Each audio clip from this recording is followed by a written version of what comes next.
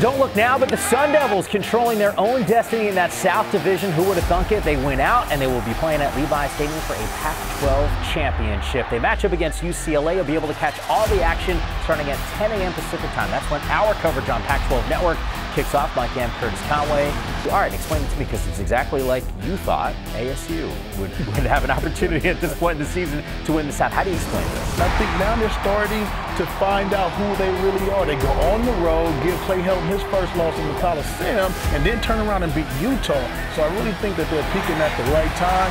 I don't know if it's the right time for Chip to want to play Sunday. Bruins, though, have fought pretty hard here. I mean, statistically speaking, against Oregon, they've actually played them pretty even. What's the one thing that they can do to disrupt ASU's path to get to a, a, conference championship? Well, I think number one, they have to try to figure out what part of that offense they want to stop. With Benjamin running the football and N'Keal Harry out there wide receiver, they have to pick one of those to stop because if both of those guys are rolling, going to be a long day. And we saw what Oregon was able to do to UCLA in the passing game. So are they going to drop guys and try to slow them down throwing the ball, or are they going to try to stop the run? So it's going to be an interesting thing to see on defense what they're going to do. All aboard the Herm train. So there's plenty of room. Seats maybe not as comfortable as they were at least earlier in the season. We can't wait to be in Tempe.